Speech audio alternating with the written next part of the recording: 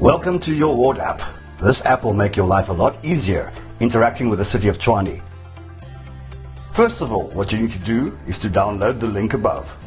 Once downloaded, the app will open. It will also prompt you to add the app's icon to the home page of your phone. The first option available on the home page is ward details and contacts. Here you can call your counsellor, email your counsellor or chat with your counsellor on WhatsApp. It also shows the suburbs in your ward, as well as a ward map. And if you don't know where your voting station is, just click on the name and it will take you to the exact location via Google Maps. Lastly, on this page, you can find out the details of other councillors in the city of Tshwane as well. Returning to the home page, let's explore some other options. Now, there's an option for DA membership, and very important, you can check your registration for the elections coming up next year. When you click on the IEC voter registration button, it will take you to a page where you can check if you are correctly registered.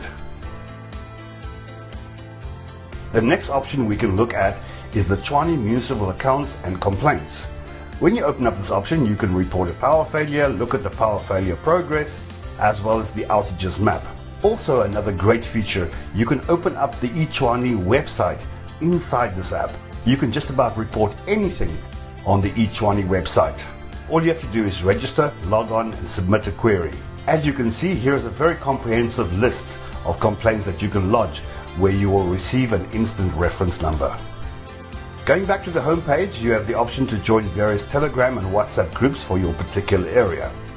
We also have surveys and petitions from time to time, and we will be changing the different surveys and petitions that are relevant to your particular ward. So go ahead and fill in your details here. It really gives us a good idea of the needs of the ward and how we can improve to make your lives even better. Lastly, we have a direct link to the emergency services. Select this and you'll have the option to call the Metro Police, Ambulance and Fire or SAPS directly from the app.